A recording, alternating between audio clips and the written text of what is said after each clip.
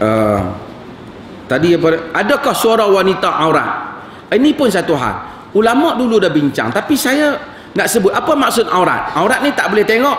Kalau suara tak boleh dengar.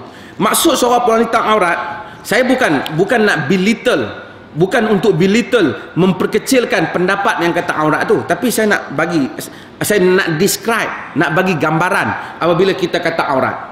Macam mana? Kita pergi rumah kawan kita saya pipi dia tak ada. Isteri dia aja ada. Assalamualaikum. Isteri dia keluar. Saya tanya ustaz mana? Ataupun uh, si Ahmad mana? Isteri dia kata apa? Sebab suara dia aurat. Kalau dia keluarkan suara dia keluarkan aurat. Bila dia keluarkan aurat berdosa. Faham tak? Kalau tidak apa yang dimaksudkan dengan aurat maka ini saya tak mau kata macam Muhammad Ghazali kata inilah pendapat yang akan duduk. Saya, saya tak mau kata sebab saya tahu ada fuqaha yang kata. Tetapi saya rasa ini tak logik. Tapi kalau wanita tidak boleh yakhda' bil qaul cakap dengan satu perkataan yang menggoda eh, itu betul.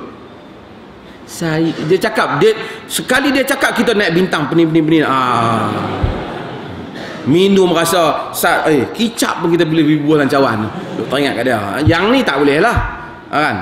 Tetapi kalau dalam dan boleh baca artikel saya boleh bercinta tak sebelum kahwin? Saya saya orang yang dapat boleh bercinta sebelum kahwin. Don't worry so much.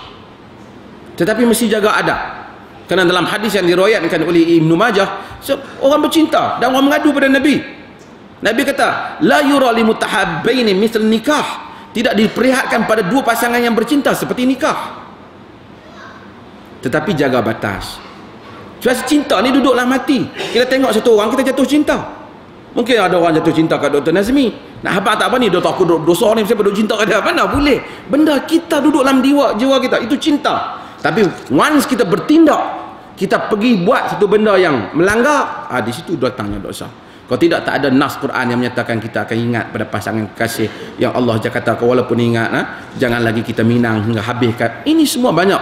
Ha, bahkan Nabi sallallahu alaihi wasallam ha, Nabi Nabi kadang-kadang simpati sahabat ha, Barirah umpamanya dia dia dia dia tak cinta kepada suami dia. Nabi kesian Nabi kata Barirah Allah kesian kat suami kau. Bekas suami dia. Dia tak mau. Nabi kesian walaupun dia bercinta. Islam luas. Tapi kita jangan sempitkan